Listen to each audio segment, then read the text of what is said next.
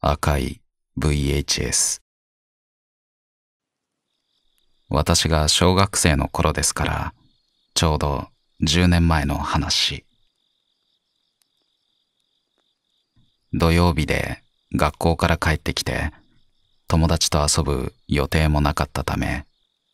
父の撮りためていた VHS ビデオを片っ端から見ていました。中にはちょっと卑猥な深夜番組や北極で美女と熊さんがあんなことやそんなことをする北の国からというビデオがありました。一息ついてから再度探していると唯一ラベルがない VHS がありました。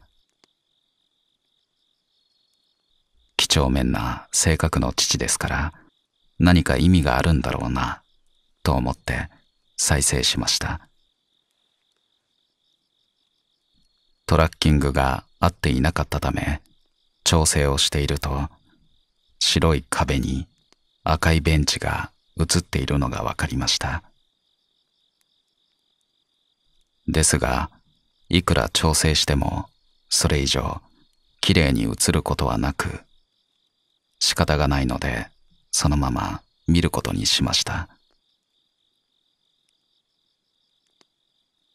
しばらく見ていると赤いベンチが徐々に大きくなってることに気がつきました。やがて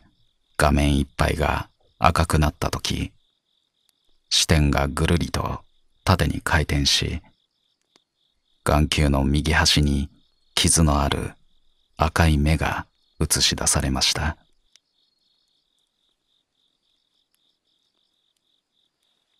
その後父が帰ってくるまで私は砂嵐を見続けていたようです。私に霊障はありませんでしたが右目の右端には赤茶けた傷が今でも残っています。